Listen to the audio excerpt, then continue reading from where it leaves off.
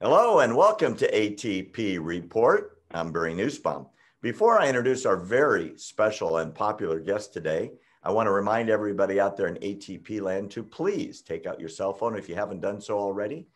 Type the message truth, T R U T H, in the message box and send it to the number 88202. Push send. You'll be signed up for free. You'll get all of our content like this show for free on the palm of your hand just for signing up. Absolutely for free. So let me bring on Tyler O'Neil. He is the senior editor at PJ Media. He's an author, conservative commentator. He's written for lots of publications, including the Christian Post, National Review, Washington Free Beacon, the Daily Signal, AEI's Values in Capitalism, and he has a book out, Making Hate Pay The Corruption of the Southern Poverty Law Center.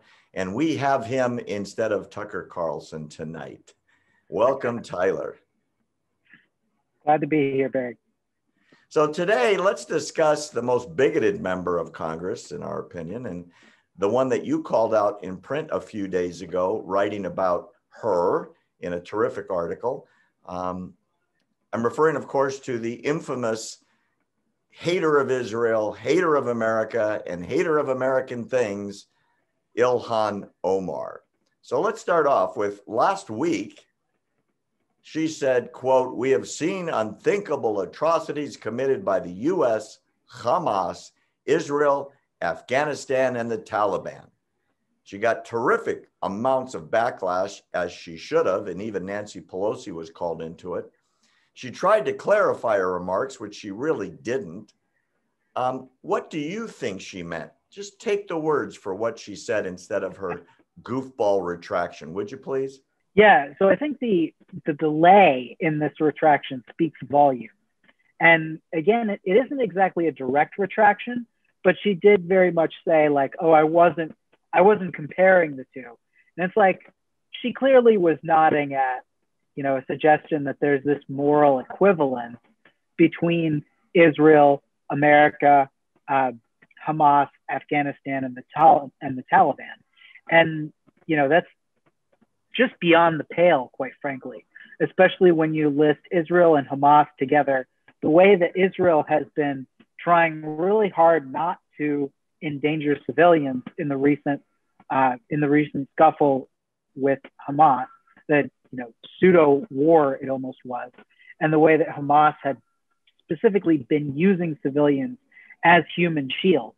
You know these are these are two different moral universes, and you know, Ilhan Omar has shown over and over again, talking about whether it's all about the Benjamins or uh, some of her other notoriously anti Semitic remarks and suggestions. She has been toying with the most common hatred that you see in the Middle East, which is anti Semitism. And there's, there's this terrifying percentage. If you look at, and the uh, Anti Defamation League has done a lot of studies on anti Semitism in the Middle East. And, you know, I don't always follow the ADL and think they're entirely accurate on everything, but it stands to reason given the way that many of the, the Muslims in that particular part of the world interact with Jews, anti Semitism is very rife there.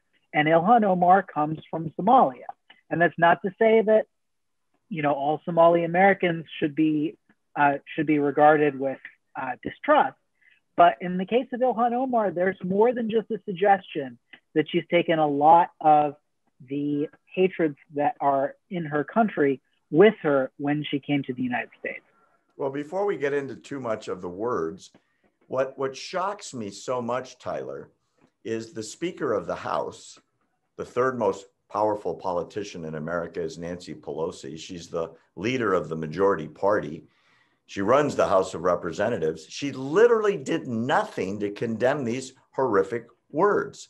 And in her last press conference um, the other day, she literally refused to answer the question about her, her being Ilhan Omar's inflammatory comments about Israel and just brushed it off, did not want to answer it.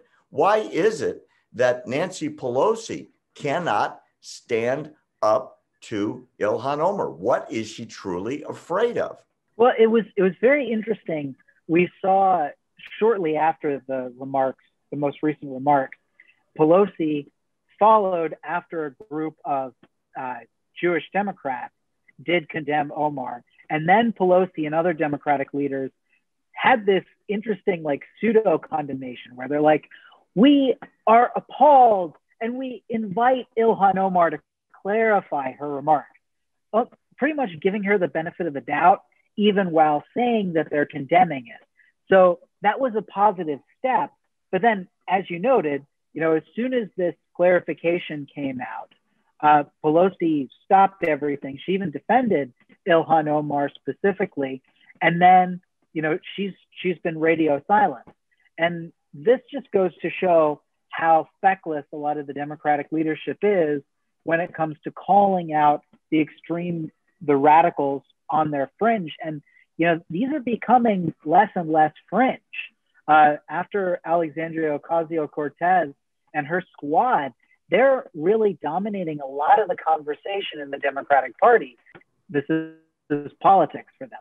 Well, let's let's talk politics. You just touched on an interesting concept that Nancy Pelosi seems to always open the door for Ilhan Omar to run away from what she said repeatedly. So here's the clarification. I want to read it to you that finally came out. This is from Omar. Quote, to be clear, the conversation was about accountability for specific incidents regarding the International Criminal Court cases, not a moral comparison between Hamas and the Taliban and the US in Israel. I was in no way equating terrorist organizations with democratic countries with well established judicial systems. Um, that was written by a PR flack, not by her. And it was a perfect lie because the context of what she was saying had nothing to do with the ICC. It had to do with what a hateful organization the United States and Israel are, you know, just like the major terror groups of the world. So, why in the world can she issue a statement that you and I both know she didn't write? And number two, we both know she doesn't mean it. And everyone lets her get away with it, and the subject gets dropped did she just lie again and there's no accountability? Pretty much. I think what you're looking at is a Democratic Party that is so focused on its woke goals and its agenda that it's willing to overlook when there are, you know, when incidents of hatred towards Jews shows show their heads. And I think this this situation has happened again and again with squad members. Um, it, it, it, was very fascinating to see when uh, all of the Democrats ganged up on Marjorie Taylor Greene and kicked her out of her committee assignments. And look, I, I wouldn't defend what Marjorie Taylor Greene said previously. Even she gave her half-hearted, you know, pushes, condemnations, denunciations of it.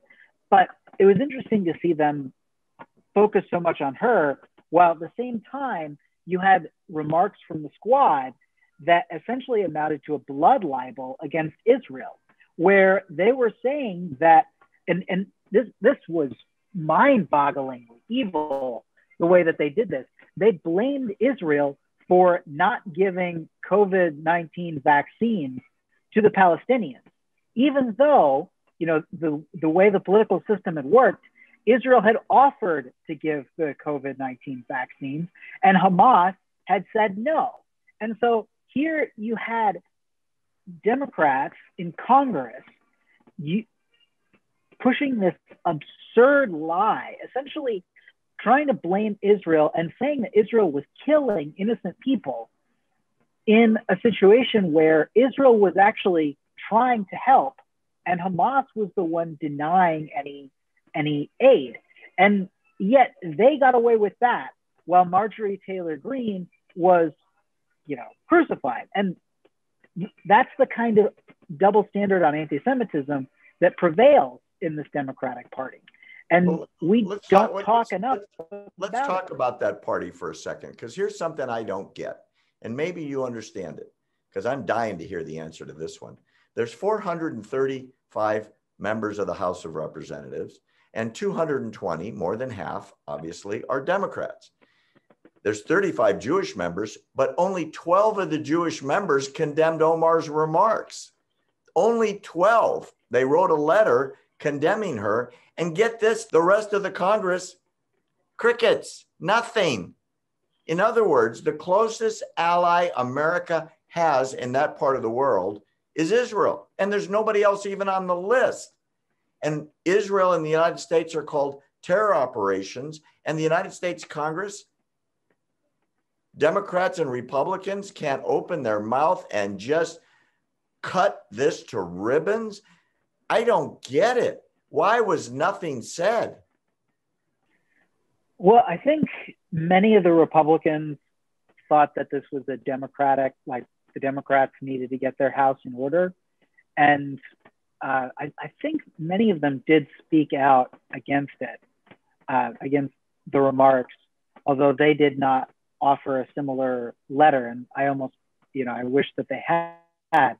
Uh, but the, uh, yet the fact that there were so there were crickets after this, um, you know, th- that there weren't more efforts and that you didn't have the sustained outcry that you had against Marjorie Taylor Greene, I think is is revealing.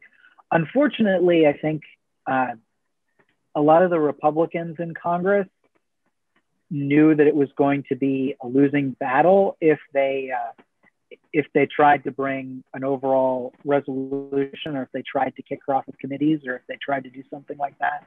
I think there was enough outcry in at least on our circles in conservative media and in uh, some legacy media outlets.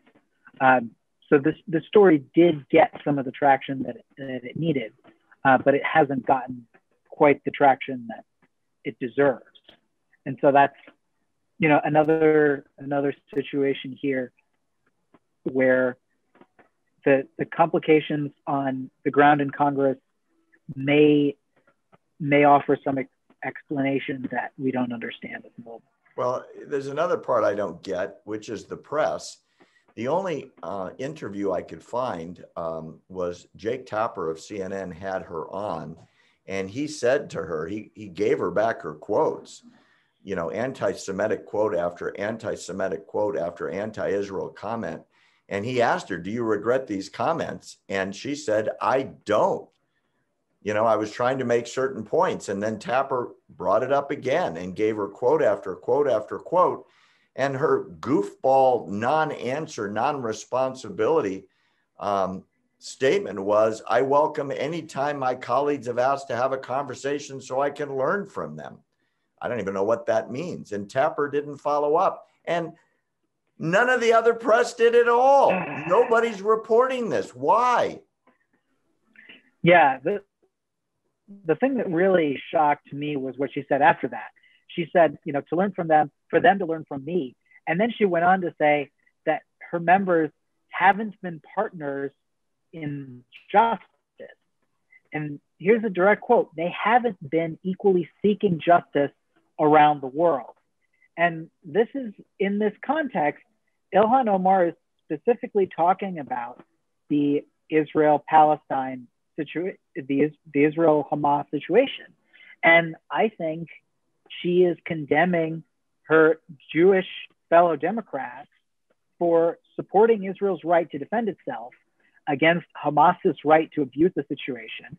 And she's she's actually, you know, she gets accosted with her own anti Semitic remarks, refuses to condemn them, and then immediately attacks her Jewish fellow Democrats in the House.